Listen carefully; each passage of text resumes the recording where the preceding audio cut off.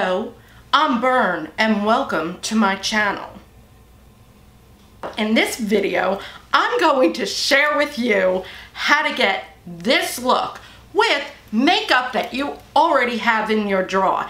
This is an imprecise skull makeup application that anybody, mature woman included, can rock. Even if it's not precise, it looks great. Skulls are a very imprecise art. Every skull is different, and do I dare say each has its own degree of rot? Well, this isn't precision, but you can get a really good skull makeup, and I'm going to show you how. This look is inspired by Chrisspy on YouTube, but I just thought for Halloween, it's all about a mask. So I put on my mask today.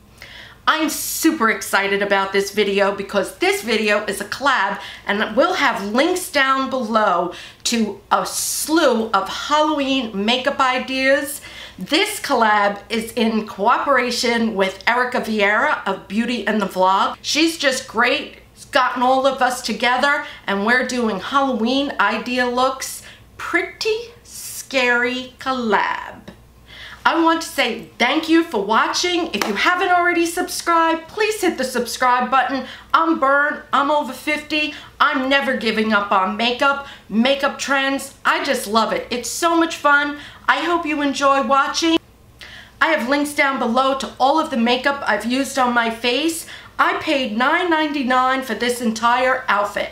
I had these little skull guitar picks from so long ago. I have my own clothes on and I bought a $9 wig today.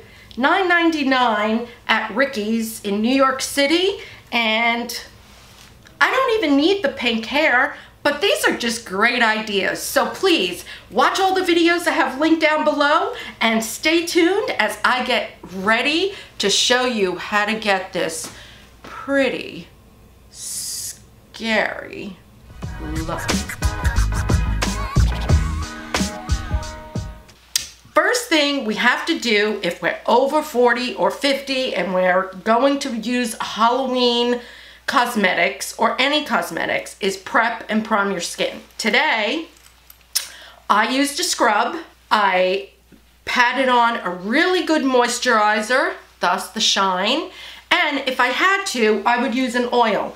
Any facial oil, um, I keep this right here. It's camellia seed oil, maracuja oil, argan oil. I love rosehip oil.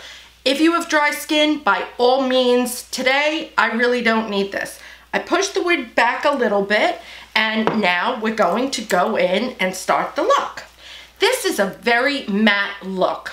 That's that yellowy tannish matte look that a skull has is what I'm going for. So I'm going in with my Becca Ever Matte Poreless Priming Perfector.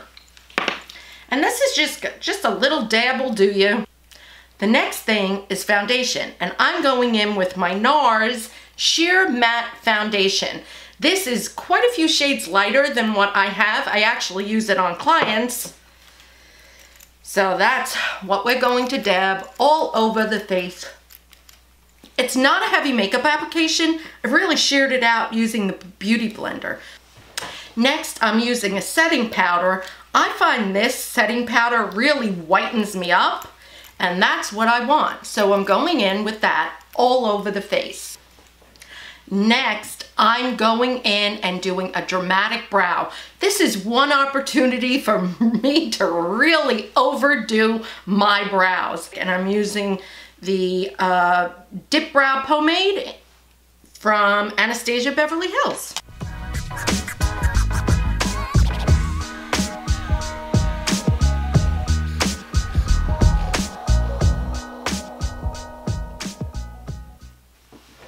Next, we're going to start on the eyes. And I'm going in with Kat Von D's Shade and Light Eye Contour Quad. And I'm using this orange color right here. Next, I'm going in with my Naked Urban Decay. I've used the heck out of this palette and just using this faint brown right here, right there just to darken up the eye a little bit. Now, I'm going to go in with an even deeper eyeshadow in that crease, and I am using for my Z palette, the Anastasia Beverly Hills eyeshadow in Hot Chocolate.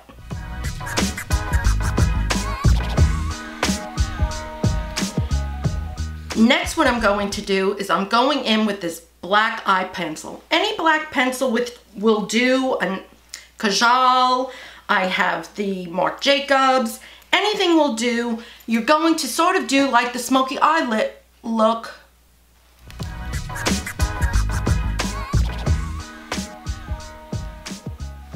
And blend out with your finger just a little bit before that really dries down. And what I'm doing here is I'm adding dimension to this eyeshadow look. You can skip that step entirely if you want and just go in with the brown eyeshadow all over again. And that's what I'm doing. And I'm just going to blend that out. Now I'm going back in with that orange shade.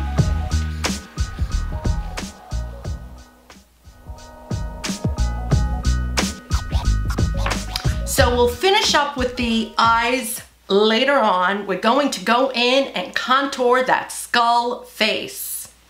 So I'm going to take this brush, I'm going to use that orange color from the Shade and Light and follow the contours of your skull.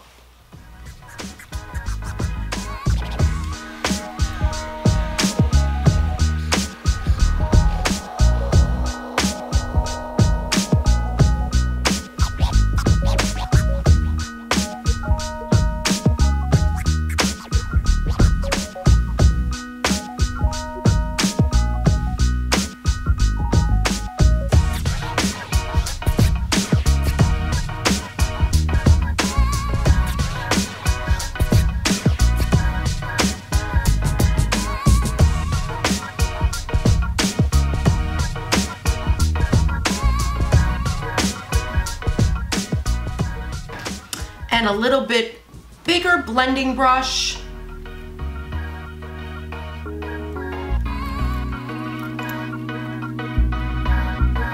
On my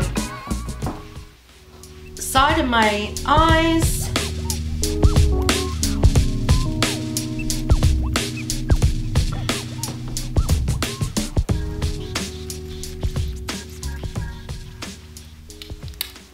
I'm using a little bit of that taupey gray color in the Shade and Light contour palette. Take that brush and let's darken underneath the lip. And let's do right above to just make that frown line.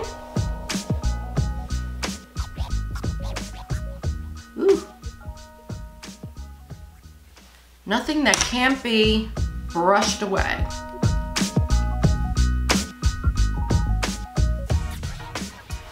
All of the money that I have spent on Botox to get those 11s uh, out of there, I'm darkening them and putting them right back in.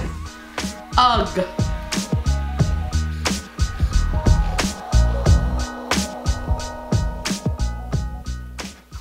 Now let's go in and finish up that lower lash line. So we'll start with the orange color.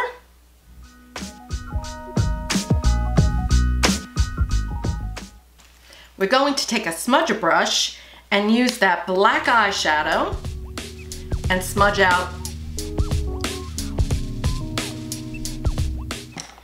And we can go back in and blend that out a little bit. We're going to take a smudger pencil any gel. This is the Marc Jacobs. This is one of my favorite. We're going to tight line the upper and lower lash lines on both sides.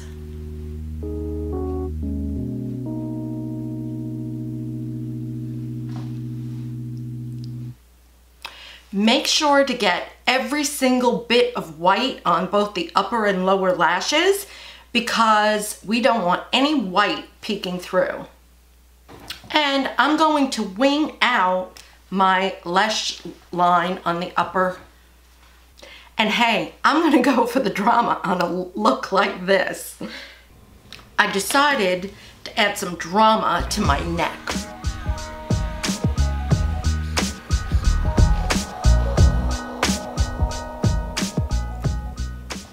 So we're going to add lots of mascara, curl those lashes, and a few coats mascara.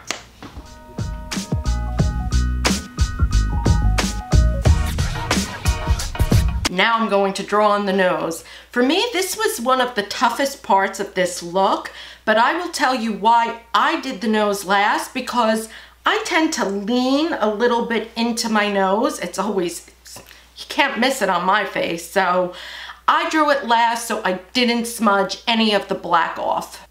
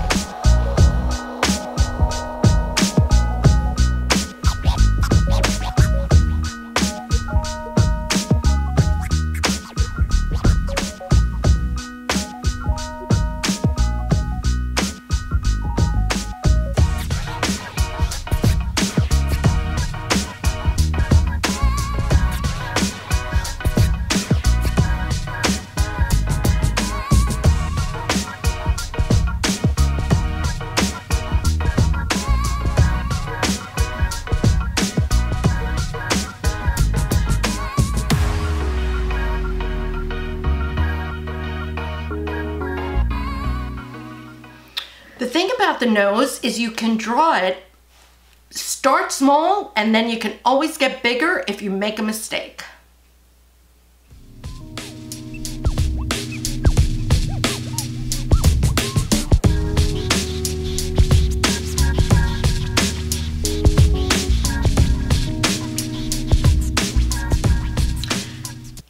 Now I'm going to make sure I go in with that matte black pat